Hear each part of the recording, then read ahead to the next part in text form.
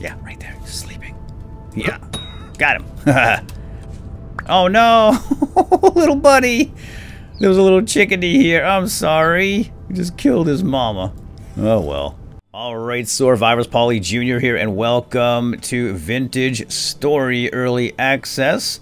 Um, I've been playing this now for about maybe 10 hours, I think I've sunk into it, and I can't stop playing. I can't stop thinking about it. It really reminds me of the very, very early days of Minecraft Alpha Survival back in 2010, 2011-ish days, when Minecraft was actually a good survival game, um, and it was challenging and hard and scary and uh, the discovery of making new inventions and just discovering stuff out in the world and exploring the world was just uh, was just mind-blowing back then right? And i feel like this game has captured some of that um, imagination and challenge, and uh, I'm super enjoying it. So I wanted to share it with you guys. I think you will like it as well, since I know everybody here is pretty much a survival gamer like I am. So anyway, let's just jump in and play. Enough of me chatting at you. I will, of course, put a link down below in the description if you want to check the game out for yourself. It's not on Steam, but it is on itch.io and Humble Store, and you can buy it there. Uh, I think it's about $17 US monies, and it's available for Windows and also Linux, so there you go. Um, yeah, let's jump in and play. We're going to start up a single-player game. You can obviously play on a server with friends if you like, but we're going to go solo, and I've got a couple of different games here uh, that I've been messing around with. Here's my, my, my current game, but I'm going to skip that. We're going to go right from the start, and we're going to do a brand new world. Let's call it PSJR's World. PSJR's World. If I can type this morning, it's early Monday. Give me a break. We're going to use Punchwood as the seed, so if you want to follow along, you certainly can. We have four different play styles here. Standard is the way we're going to play. That's the default survival experience vintage story.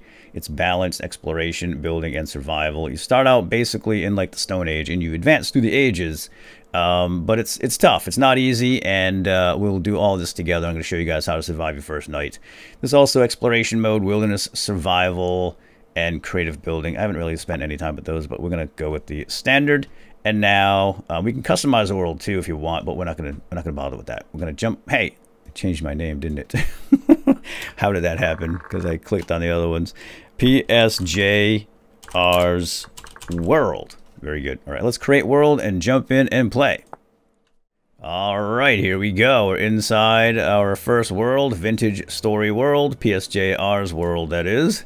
There's PSJR, bit of a caveman, and we can uh, we can put on an outfit, which doesn't really do much for you. It's mostly just aesthetics, but uh, it's better than being naked, right? Naked and afraid is how we like to roll, but what the heck, we do have some rags we can throw on. So, oh yeah, there we go. Let's let's just go with the tidy whities. Perfect.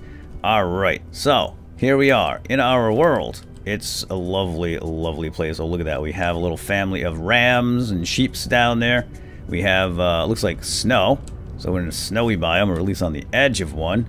Yeah, we're right here. Here's all the snow. Um, just press M to bring up the big map. This is going to be sort of a tutorial, by the way. It's going to be kind of like Survive and Thrive, like I did with Minecraft. Um, so the first thing we're going to do, in fact, is right-click on our body right here on the map, and we're going to type in spawn. We're going to make a, um, a waypoint, and we're going to make it red, so it's highly visible against the green. And we're going to choose a symbol here. We'll use that little swirly symbol, which is kind of cool. There we go. Look at that. So now we know where we spawned. We can always come back here if necessary. We may not create our base here, but at least we know where we spawned.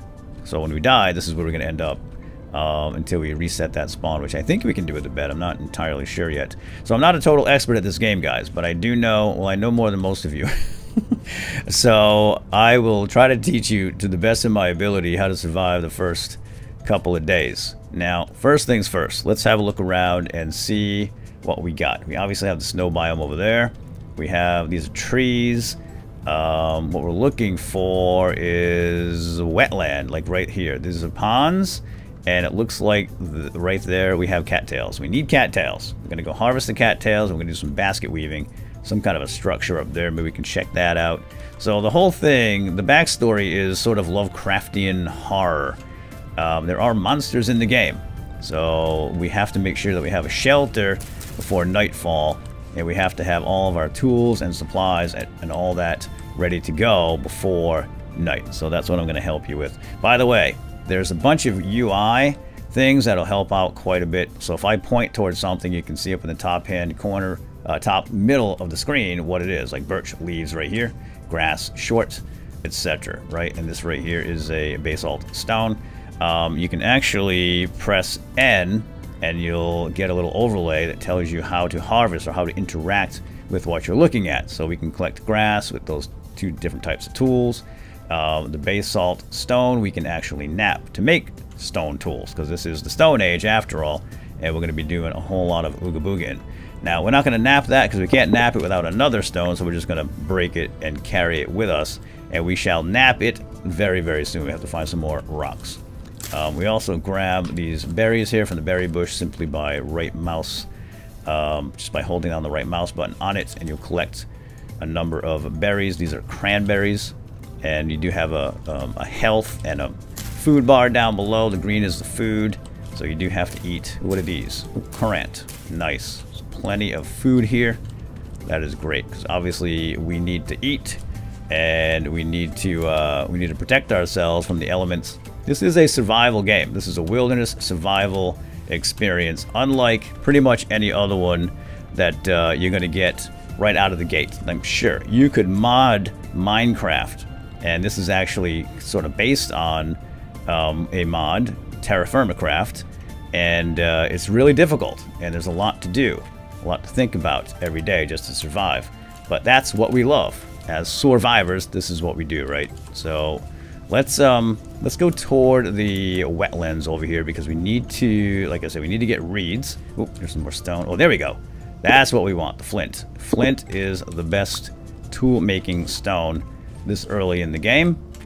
Um, until we get into like, you know, smithing and casting copper and iron and all that jazz, but that's going to be way down the road. Oh, little bunny wabbit here. Plenty of livestock around here. I love it. There goes a little fox running off. Oh, looks like we got a rain cloud up above. So there are actually rain clouds. And you can, if you don't like the rain, you can just get out from under the cloud. That is really, really cool the way that's designed. Oh, copper. Check it out. Copper bits.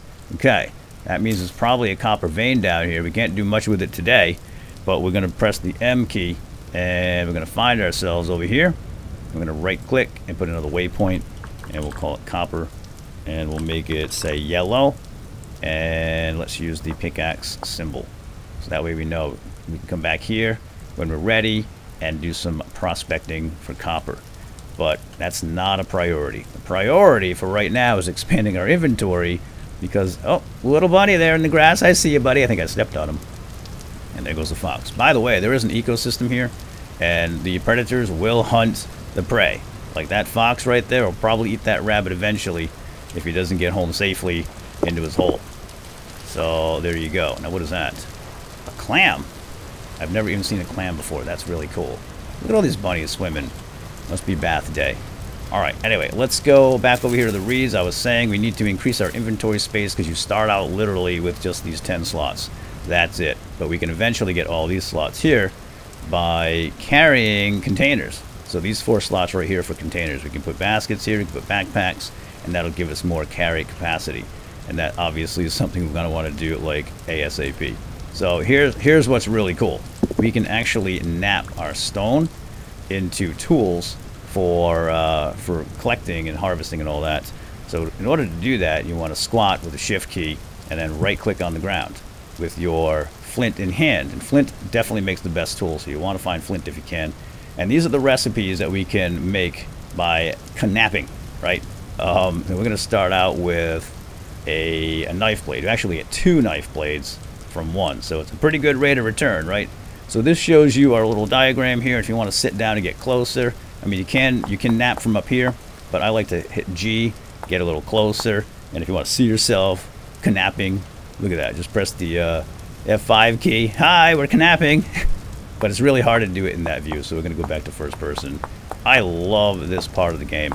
I love this super interactivity where it's all happening in real time. We're knapping and making our knife blades. How cool is that?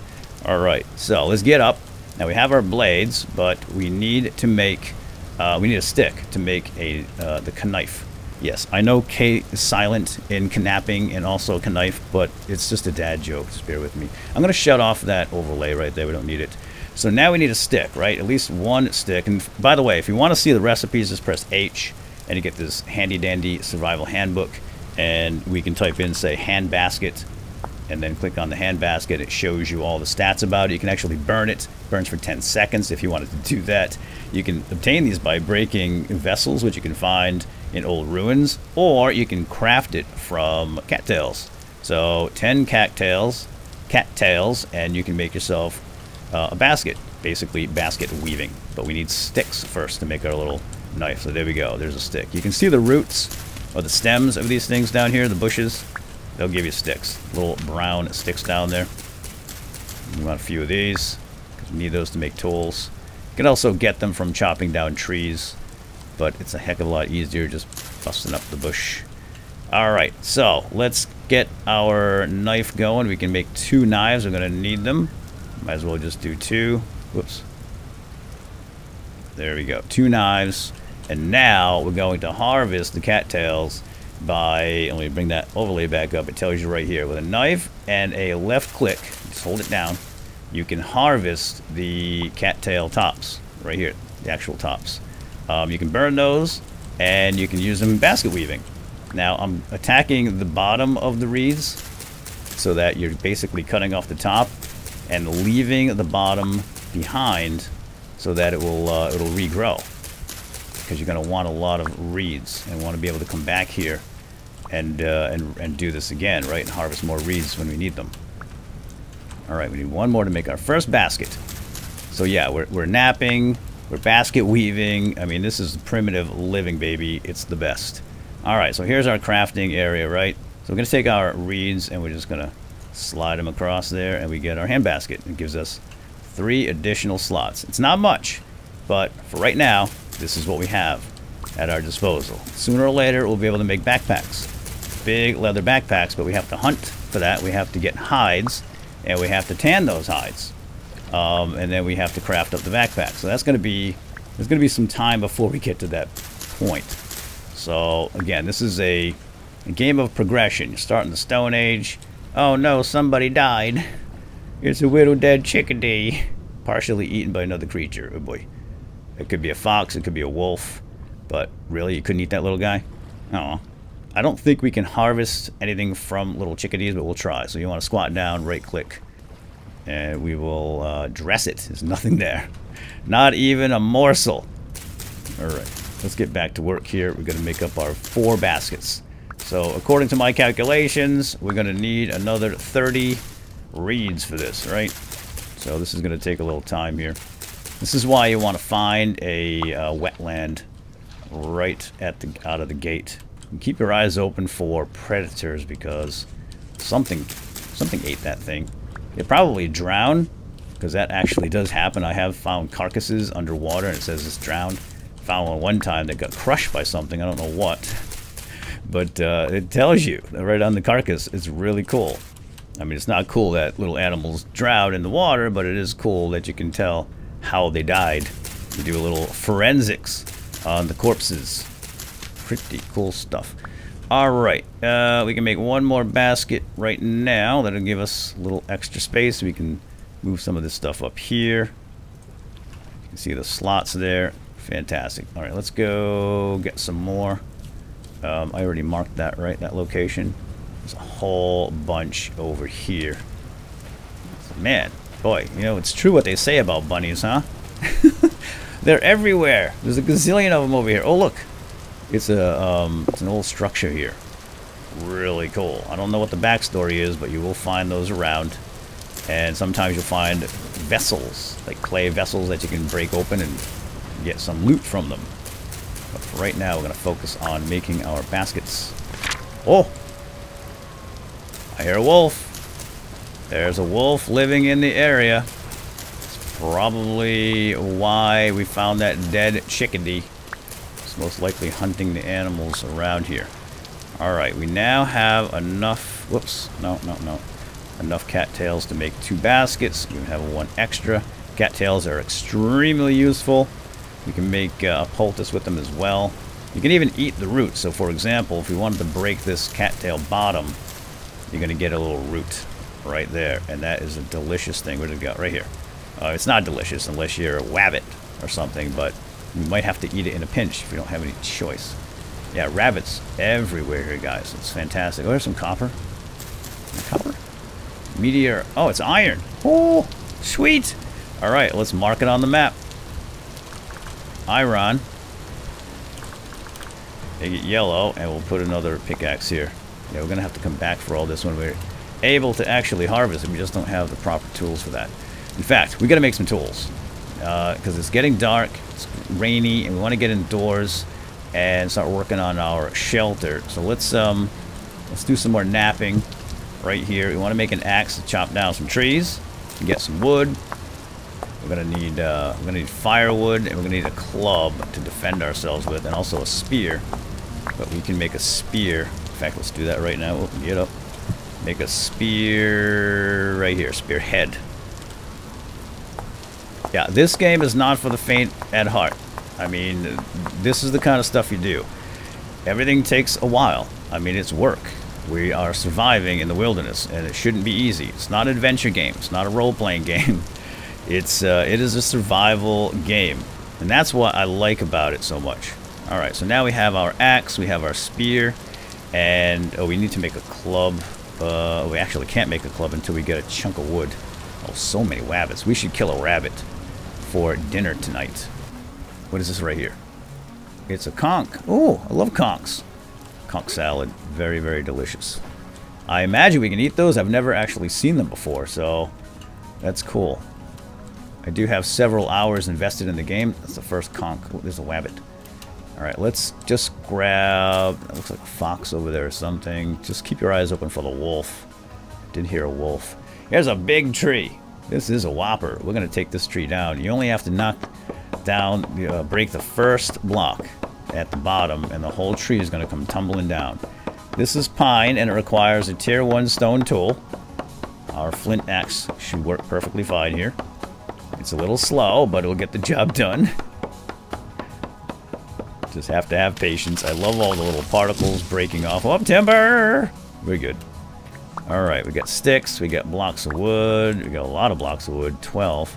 And we're going to take our knife and our block of wood, and we're going to make a club, which is going to be our bludgeoning tool to kill things that get too close. Oh, yeah. Um, and the spear is going to be for throwing.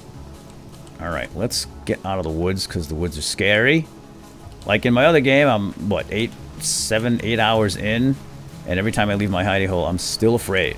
And I've got, like, copper tools and weapons and everything, but it's still scary. It's a scary, scary world. And that's what makes it so interesting. Alright, let's bring up our map. We're under a rain cloud again here, which is no fun. But we want to pick one of these hills and maybe dig in. Like, this looks like a, maybe a decent hill. And uh, make a hidey hole. But first we should do some hunting. Let's grab some food before we head to the hidey hole. And there's lots of little dudes to kill around here. Uh, there's some nice hills over there, too. Get a lot of berries here, which is fantastic. It's a great source of early food. There's a fox. If you attack a fox, it will it will defend itself. So I'd rather not if I can avoid it. It's just a little pup too, isn't it? Yeah. Yeah, and they'll all come at you too, not just one. if there's more than one, they will uh, they will group up and attack as a pack. Oh, chickens! Chickens and roosters. Perfect. Right there. Get him. Oh, I missed. yeah, so you can throw the spear by holding down the right mouse button and release. And they're tough to hit, but if they run into the water, perfect. Got him. There's a little fox right there. He might come over here and try to steal my meal. So we got to dress this thing quick. So there we go. We got a rooster. Get rid of that grass first. And we're going to harvest this rooster by squatting. It tells you what killed it. Me. And we're going to right click. I think you can stand up while you're doing that. Yeah. And there you go. We got some chicken meat and some feathers. And then he goes poof. All right, let's go up here because it looks like we have some natural um, food growing. We got some spelt, but we have this lovely hill right here we can dig into. We got some berries right next to it. Have a natural um, food source. We can move these berries too, by the way. You can pick them up and move them, which is nice. I hear another little chickadee. Oh, I love this spot, guys. Check it out. I think this is perfect for a caveman. Right here, we got the pond with the reeds. We have animals about for food. We even have some berry bushes, some spelt, which I'm sure we can just eat. If not, uh, make some flour out of it, right? We Probably do some baking down the road.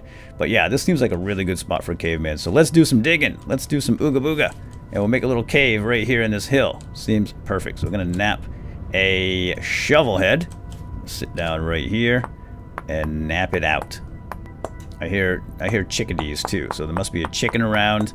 So we're gonna have plenty of food and feathers and that kind of thing. We can even raise chickens. If we capture them and put them in a pen, we can uh, we can raise them and eat their eggs and flesh and all that fun stuff. All right, let's um let's dig in right here with our shovel. I'm gonna make a little hidey hole. Hopefully we don't hit any stone like that too soon. We did. Alright, well, we're just to have to work around it. That's okay, that's to create a nice little shelf for us. We can't break this until we get a pickaxe. But we're to work around it as best we can. And at least have a place to go tonight before the sun falls. I'm just to need a lot of dirt for this. Let's grab that dirt. And we can, uh, let's see, we can expand out this way. Bear with me as I dig out our hole here. Unfortunately, we can't break that stone. And that is a problem. And the sun's going down, so we gotta hustle. Because it is kind of dangerous out here in the dark. Want to get some lighting going too. We're gonna need a um, we're gonna need a torch. We can get fire going inside here as well.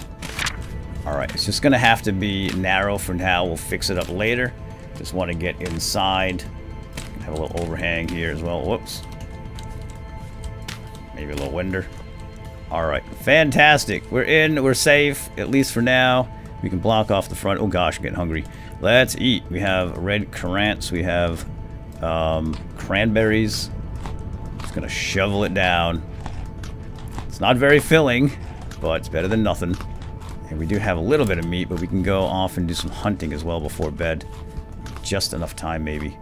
Oh, there's another chicken over here. let's go grab a little more chicken meat. Yeah, right there. He's sleeping. Yeah. Got him. what a shot. Oh, no. little buddy. There was a little chickadee here. I'm sorry. He just killed his mama. Oh, well. That's life in the, uh, in the plains. all right, grab all the goodies. And there's, there's a little mama. Carcass. Tiny. So bad. So bad. I feel terrible now. Alright, back into the house. Now we need grass. So to get grass, we can just use our hands on this. Camp. Oh, no, I guess not. Let me see. N. Collect. Yeah, okay. No, you, you need a knife. So we want this dry grass to get a fire started. There we go. Get in, get in, get in. And we're going to put the dry grass down. Where's my dry grass?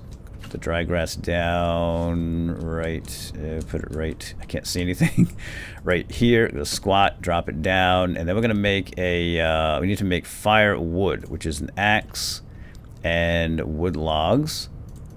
Grab a little bit of firewood, and we're going to put the firewood on the fire. I'm sorry you guys can't see that, but you can actually right click and open it and just dump it in here. So right now it's obviously not lit, it's cold, and we need to get it started so we can make a fire starter. I forget what the actual recipe is. Uh, so here it is, one grass and two sticks. One grass and then oops, sticks here. Get the fire starter and then we just squat down, right click on the fire, and just keep doing that until it lights. Now if it's raining out, you're going to have a problem starting a fire.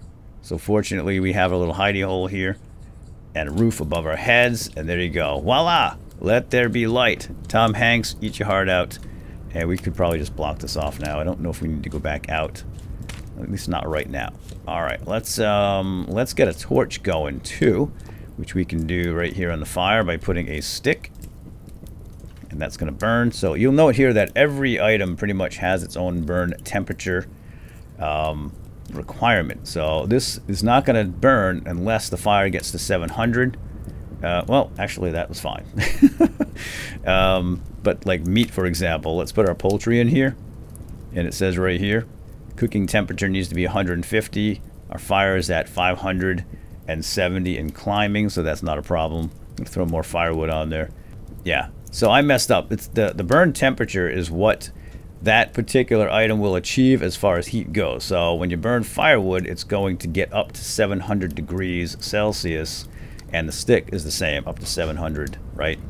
But for cooking purposes, you need to reach a certain temperature to cook that item safely, right? So obviously poultry needs to hit 150 degrees, and that comes into play later. I hear a wolf. Especially when you're smelting. When you're smelting copper and iron and all that, you need to hit certain uh, certain temps. Better block that off. Um, and this fire pit right here, this firewood would not be enough to smelt iron. So we'd have to get coal for that, which we will do in a future episode, most likely. Now, while we're sitting here doing nothing in the night, we can take a look at some of these recipes, especially for a basket, so we can have storage here in the, in the shelter. Reed basket is just more reeds. So I could go out tonight and get a bunch of reeds and set out some baskets and then get rid of some of the stuff in my inventory, which I probably will do. Um, it's a little dangerous out there, but somebody's got to do it. It's either that or make a bed and go to sleep here, and you can pass up to seven hours. But if you do that, um, your food de depletes while you're sleeping. It simulates like you're sleeping through the night and your body is burning calories. So it's, it's pretty easy to make this with just uh, grass. Um, we can actually do that right now. I'm not going to sleep through the night because we don't have a lot of food.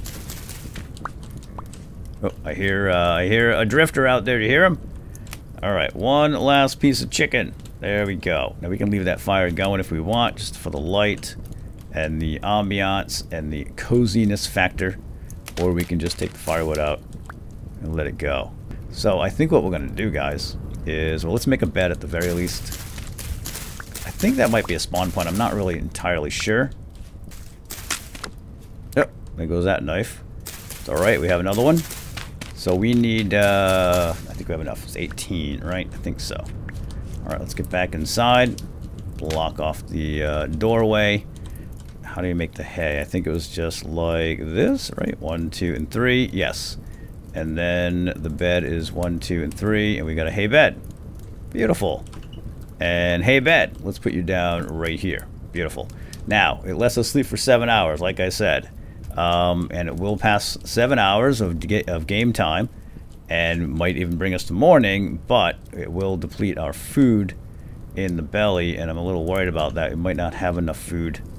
Yeah, see these berries go really, really fast. They don't fill up very much. So I think what I'm going to do is just call it quits right here for now, folks. We're indoors. We're safe inside our little hidey hole. Got a fire going, nice and cozy and secure. And uh, if you want to see more of this game, leave a like on the video, leave any comments and feedback, and we shall uh, we'll see you guys in the next episode. So have a good day. Bye bye.